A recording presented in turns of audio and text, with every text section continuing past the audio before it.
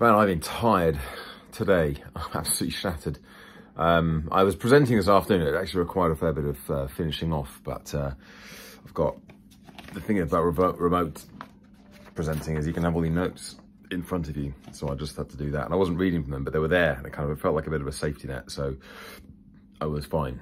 Um, it was good. There's definitely a few bits I'll do differently next time, but I got some feedback and um, so it's fine. It's good.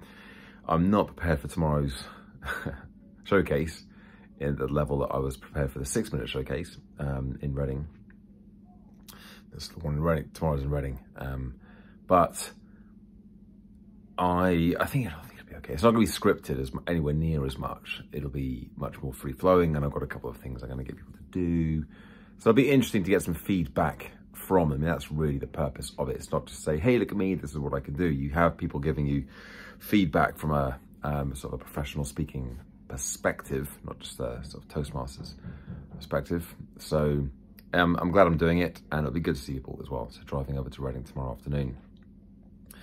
And managed to even managed to get a few emails off today following up with things, but very, very low key day. I felt, I just felt really, really tired. I got back last late last night, um, about quarter past one. Uh, got to bed and I was just wired, couldn't sleep, but still very tired. So Anyway, moan, moan, moan.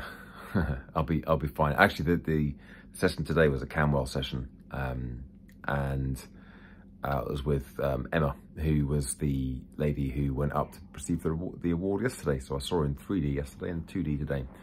So it was all good. Um, I'll finish my check-in and update there, and I'll be back again with more tomorrow. But for now, thanks for watching, thanks for listening, and I'll see you tomorrow. Bye for now.